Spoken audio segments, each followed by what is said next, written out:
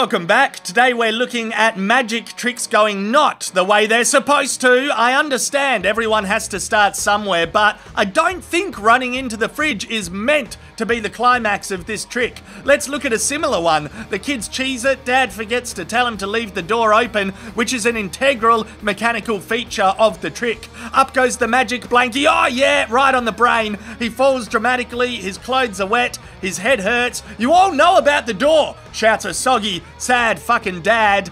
This is the classic how to remake your chainsword in half friend trick. Cue the smoke. Too much smoke. Screw this. The top half guy grows legs and cheeses it. The magician mumbles a gentle whiff of smoke. Not fucking fireworks. I wanted a gentle whiff. Why are all me mates bloody amateurs? Be very careful copying the magic tricks by that legend Zach King. You can't jump through windows. They bloody smash if you don't know how to use Adobe After Effects. It's nothing to celebrate. You can't create vortexes out of thin air. You can't eat a company's donut sign. That's not a cake. Don't cut fucking glass. I know you want to save people with magic, but it's not real. If they're gonna get hit by a truck, that's on them. Shit, sorry for lecturing you about the obvious. I mean, stick to classic tricks like sword swallowing. This bloke is deep throating the piss out of that blade. Not having a gag reflex is the real abracadabra shit. Yeah, he's nailed it.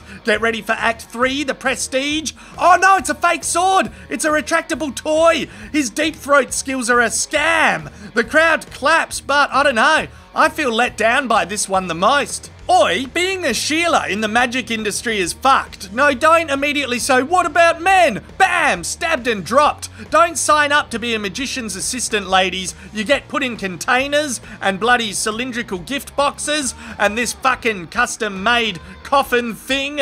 You get fondled after being chopped in half. Chains. If you're into it, that's fine. But yeah, no, yeah, just letting you know about chains. More containers. They get set on fire. Here's a spike. Yep, feel that. It's real, super sharp. I'll bung it in a bag. Yeah, give me your hand. I'm gonna slam it on the bag. It was at this moment everyone wished that they could go back in time and prevent a spike going through her hand. Fuck this, ladies. Fuck this. Even for Scarlett Johansson, the enjoyment was an illusion. She was chewed up and spat out by these egotistical, deceptive fucking cowboys. Shit, I'm really on a tangent again. Sorry, everyone. Let's get back to happy magic.